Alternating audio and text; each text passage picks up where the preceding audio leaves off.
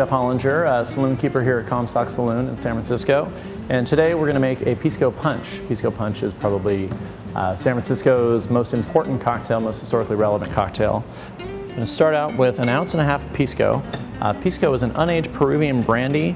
Uh, has a long history here in San Francisco actually because years ago, before the Panama Canal, uh, the only way to get to the west coast was either to come across land or to sail around the Horn.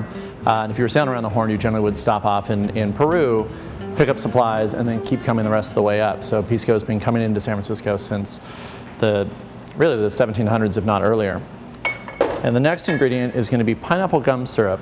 Pineapple gum is a gum syrup that's been flavored with pineapples and has gum arabic added to it. The gum arabic gives it a little more viscosity, a little more body. And next we're going to add some lemon lime juice. This is an equal blend of lemons and limes, been a half ounce of that.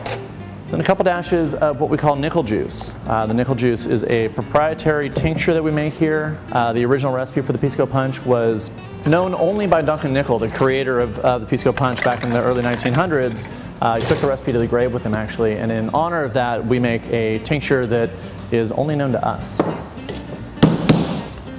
So we're gonna give it a good hard shake.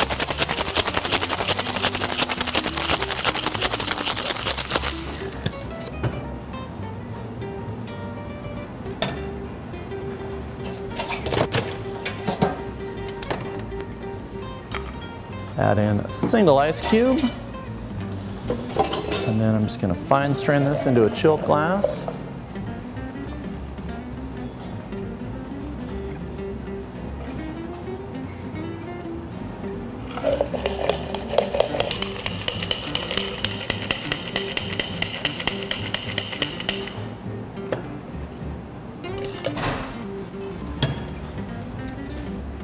And lastly, we're going to garnish it with peel of lemon.